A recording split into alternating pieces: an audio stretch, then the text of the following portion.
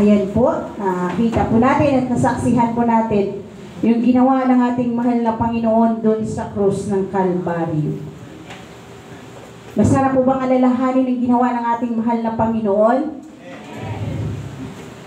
Ah,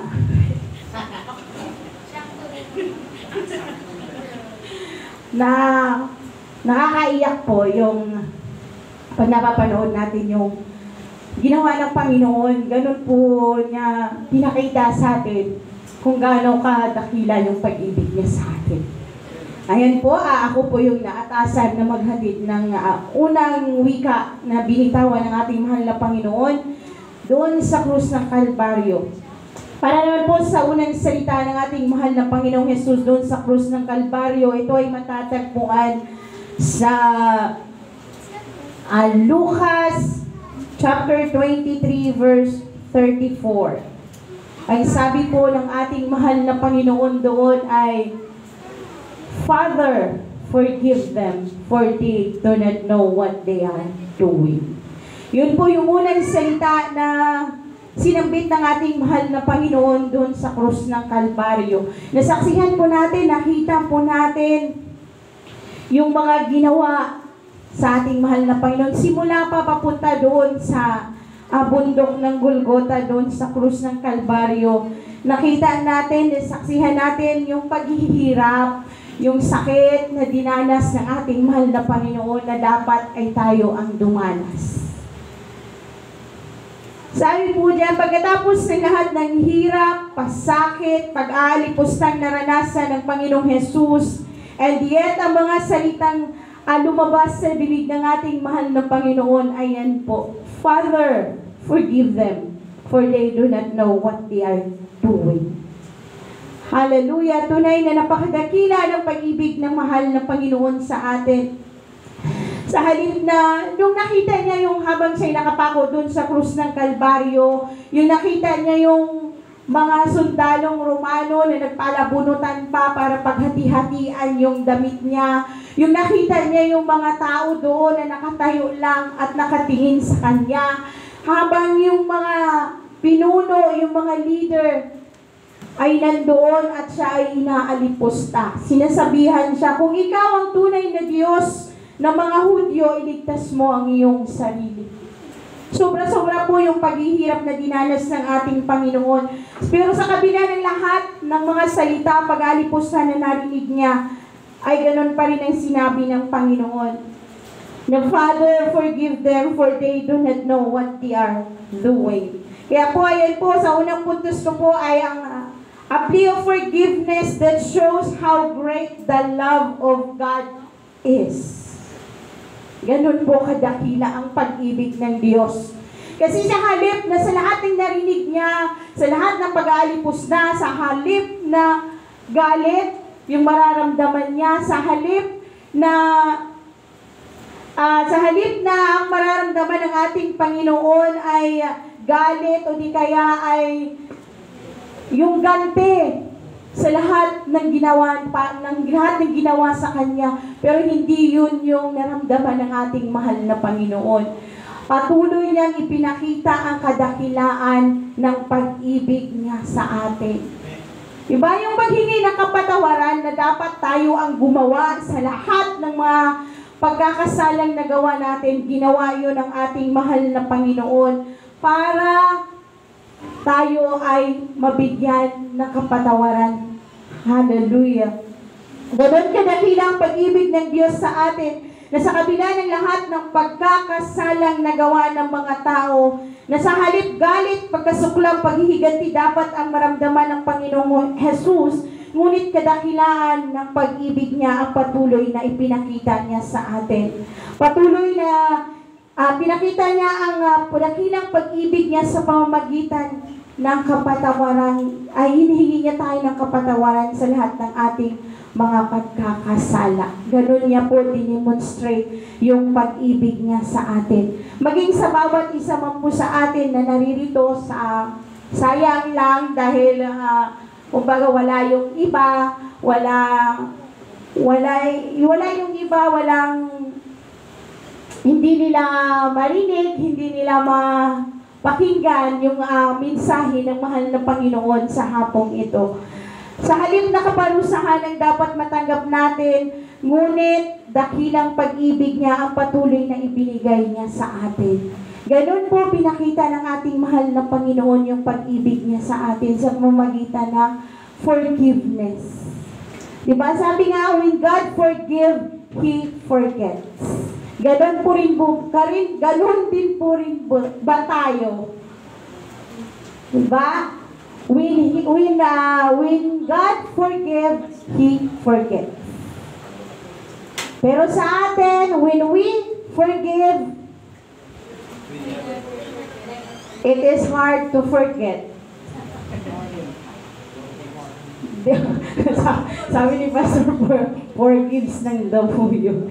Pero dapat, kung paano ang Panginoong Yesus, kung paano tayo pinatawad ng Panginoon, dapat ganun din natin i-demonstrate yung pag-ibig. Tayo ay mga anak ng Diyos, kaya dapat uh, makita sa atin kung paano nagpapatawad ang Panginoon. When, uh, when He forgive, He forgets.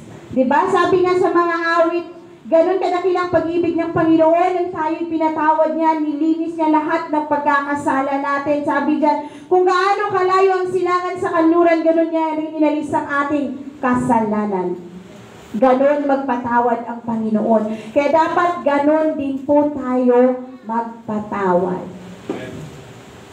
Dapat isabuhay po natin yung salita ng ating mahal na Panginoon. Ngunit kung minsan, sabi ko nga kanina, it is, uh, sabi nga, when we forgive, it is hard to forget. Kasi minsan nasasabi natin, pinapatawad na kita, ngunit ayaw kitang makita. Pinapatawad na kita, pero wag kang magpapakita sa akin. Hindi pa rin po buong pagpapatawad. Pero ang Panginoon ay, kung, uh, kung magpatawad ang Panginoon, talagang burado lahat. Walang naiiwan walang natitira. Pag sinabing pinatawad na kita, talagang pinatawad na. Nilinis na, binura na lahat. Ganon natin dapat uh, ipakita yung pag-ibig.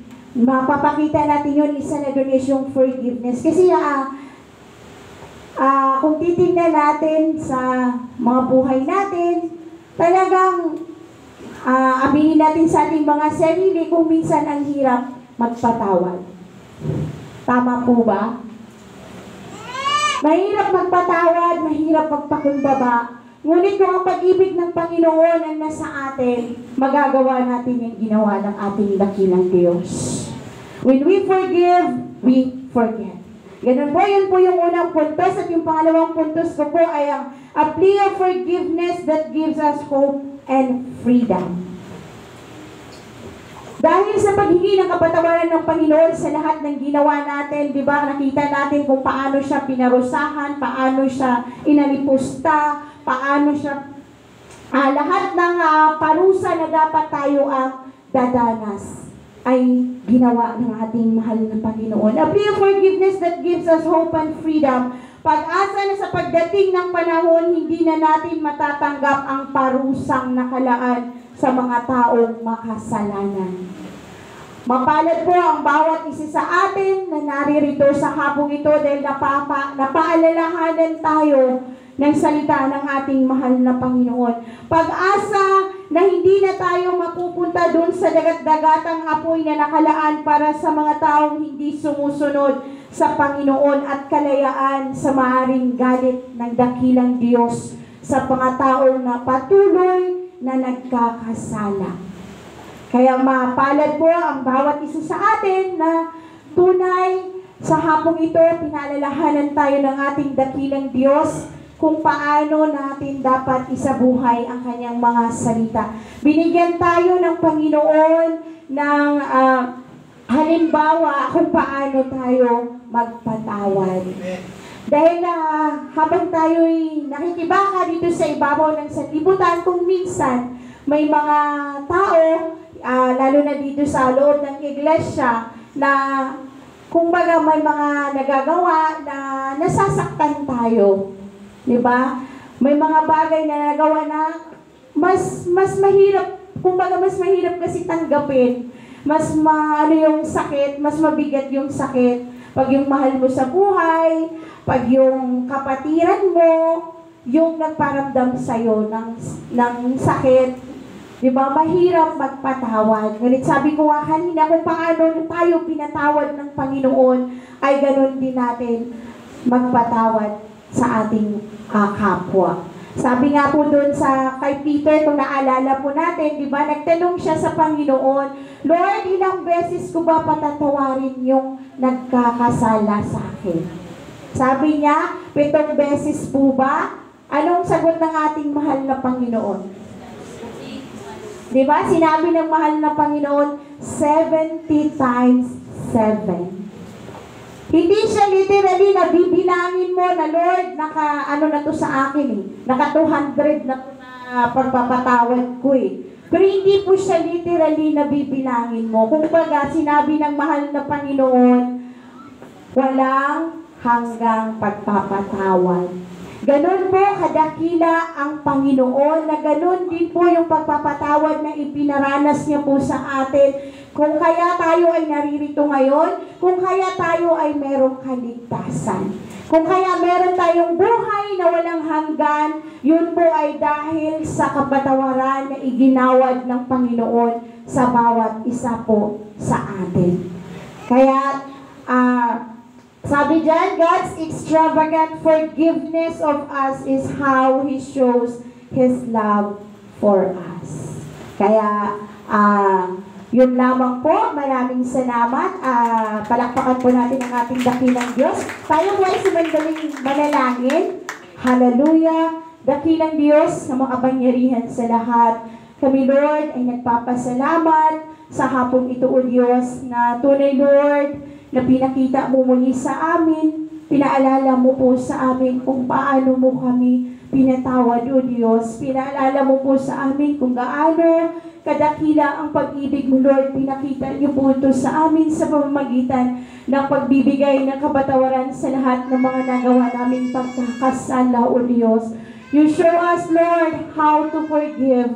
Kaya Lord, dalangin namin na nawa ang mga salita mo mga Diyos, sa hapong ito, Lord, ay patuloy na matanim sa aming puso, sa aming mga kaisipan, upang, Lord, sa, uh, sa araw-araw naming buhay, ay patuloy namin ito, Lord, na maisagawa, O Diyos, sapagkat ang nilalais mo, Lord, ay maging taga-sagawa kami ng iyong mga salita at hindi taga-pakinig lamang, O Diyos. Muli, Lord, sa iyo lamang kataas-taasang papuri at pasasalamat sa tanging pangalan ng iyong bugtong na anak na si Jesus. Amen.